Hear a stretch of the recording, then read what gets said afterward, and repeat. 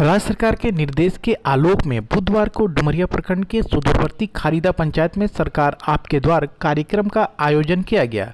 कार्यक्रम में ज़िले के उपायुक्त रविशंकर शुक्ला, प्रखंड विकास पदाधिकारी सह अंचलाधिकारी मुरली यादव तथा ज़िले एवं प्रखंड के अन्य पदाधिकारी शामिल हुए।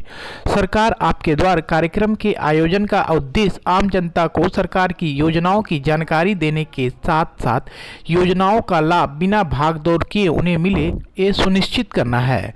मौके पर उपस्थित ग्रामीणों से आवेदन प्राप्त करते हुए उन्हें सरकार की जन कल्याणकारी योजनाओं की जानकारी भी दी गई तथा बताया गया कि इन योजनाओं का लाभ कैसे प्राप्त करें एवं विभिन्न योजनाओं के लाभ लेने हेतु क्या क्या पात्रता है.